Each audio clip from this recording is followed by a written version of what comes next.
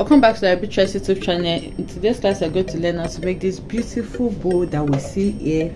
So this bow just has its way of lifting any simple fabric. Once you place this on your design it just makes it automatically really beautiful and it comes out really well. So you can wear this on your prom dresses or whatever plain dress that you have and it just brings the dress to life.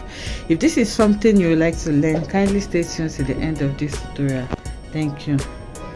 Okay so to make this beautiful bow i'm working with this organza fabric. You can work with any fabric of your choice. You can work with this decorative fabric as well. any fabric that will just make it beautiful because the highlight of the dress is actually the bow so you make it as beautiful as possible. So we all know organza fabric is soft. It's not so strong. And you will need the bow to stand firm on the chest line okay? Although you can also tack it but you need it to be firm as well. So to do this you can add maybe an interface maybe a gum stay to it. But i would not like how gum stay will look on this. So i'm going to be adding crinoline to it. So i'm adding this crinoline. If you notice this crinoline is not the regular strong crinoline that we use for our peplums. It's a decorative crinoline and it has this gold trimming all around it which i like and we know organza is a see-through fabric so i'm just going to place it underneath. By the time i place it underneath like this you can see that all this beautiful gold design that we have here can be seen on the organza which is why i have decided to strengthen my fabric with this organza as against working with interfacing. Another thing you can do is to double the organza. You can double it or triple it just to make it thicker than what you already have here. So now to fix my crinoline what i'm going to do is to open it up. You can also sew it but for this design i'm not going to advise sewing because you don't want to be seeing seam line all over the place. So i'm only adding this to the lining part. So you can just iron it. And then the measurement that i have here is for the width of the bow i have 20 i have about 20 i'm going to be working with about 24 inches okay? So that will be 12 inches for each side well it depends on how how wide you want yours to be. But for me i want to work with about 24 inches including seam allowance. And then the length of the bow is going to be 12 inches for me okay? 12 inches length and 24 inches width. So now you you fold this into two by the length because you need it to remember we are adding something to it. So this is going to serve as your crinoline. So now instead of having 20 12 inches i'm going to have 24 inches by 24 inches. But for the length is going to be on fold okay? So that is going to serve as my lining. So you can see i folded mine. This is the fold point. So this is the lining and the lower part is going to be your main fabric as the case may be. So like i said i'm adding this crinoline to the lining. So i'm just going to open it up like this whichever side i choose to be my lining. And then i'm going to bring in my hemming glue. Then after bringing in my hemming glue i'm going to open it up and then cut the amount that I need. So after cutting the amount that you need, you just decide to start placing your crinoline on top of it now and then you apply heat for it to glue them together. So now I'll go ahead now and do this. I'm going to spread my hemming glue up to where my lining is going to take and then I'm going to place my crinoline okay so i'm just going to place the crinoline side by side make sure that you don't leave any space in between them and then you're going to iron it. So i'll do this now and bring it back to show us what we'll have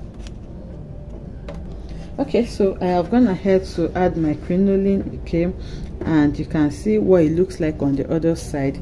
So this is the lining and this other side is going to be my main fabric. So you make sure you iron it well for it to still to to glue the crinoline together with your organza because this is also going to add as the as the thing you're going to use to give structure to this organza. So you need it to stay firm okay? So now this is going to be my main fabric. So to sew the main fabric i'm just going to turn it right side of the lining facing the right side of the crinoline of the of the main fabric. You can see this is the wrong side where we have our crinoline. So now after placing them side by side like this remember this part is on fold so you don't really need to sew it but you can also sew it if you want so now what i'm going to do now is to go ahead and sew all around it so that i can turn it out. So i'll sew all around and then leave a little space to turn it out on the side. So i have gone ahead to sew it all around now. I'm just going to trim off whatever excess that i may have. And then i left a small hole on one side. So i'm going to turn it out from that space that i left out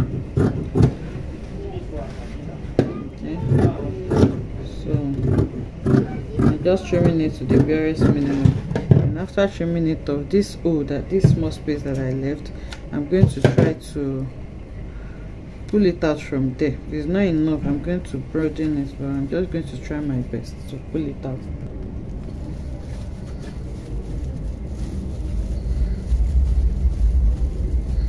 So after pulling it out now it's going to be puffy. You just take it to your ironing table now and iron it again or you top stitch it if you don't have access to iron. But you just make sure that whatever you do make sure it is relaxing well. So i'm trying to bring out all of the sharp corners. And then i'm going to do the same thing for the other side as well. So this open part where you turned it from you find a way to just tuck in the seam allowance. And then you can use your hemming glue again to hold it down if you don't want to sew on it. So i'll go ahead and iron this now. Okay so after ironing or top stitching it this is how flat it's going to look. And you can see what it looks like on the underside. And you can see what this our crinoline is giving to it. You can see how beautiful it is. So now the next thing i'm going to do now is to turn it like this okay? We are trying to create the midpoint here or you can just measure it and divide it then you chalk the middle line. So after doing this now you go ahead and gather the middle line. I just ran a gather stitch on mine and then i'm just going to draw it together so that i can create a gather here. You can also use your needle and thread to do this okay? So you carefully gather it to i think around depending on what you want basically the width that you want. So from two to three inches or four inches is fine for me. So that is what i'm going to be gathering this to. Just going to gather it little by little. Okay so i have gathered this to around four inches okay that's what i gathered mine so if you want it more you can just gather it a little bit more. And this is what you're going to have. So i think this is about three inches. So this is totally up to you and what you want. So now after gathering it the next thing i'm going to do now is to cover up this stitch with my trimming. Okay? I'm just going to place it over it like this and then you can use your glue to join them together or you tack them. Then after covering with your trimming you take it straight to your dress and then you tack it to your dress. So i'll just take this to the mannequin now so that we can see what it looks like. Okay so i've gone ahead to tack this to this dress that i already have. But just look how beautiful this bow is looking on the dress. And you can see that the crinoline that we applied is just giving us that dazzling effect that we have there. You can see how simple this bow is to make and how beautiful it has made this gun it just gives the gun a lift automatically. I hope you enjoyed making this beautiful tutorial with me. If you enjoyed it let us know in the comment section. Like comment and subscribe to our channel. And if you want yours to be bigger or smaller than this all you just need to do is to adjust your measurements. And there are also organzas that has so like i was saying there are organzas that has this decorative design on them. So if you can get them you can just use it. But if not you can just improvise like i have done here. So i'll see you in the next one. Bye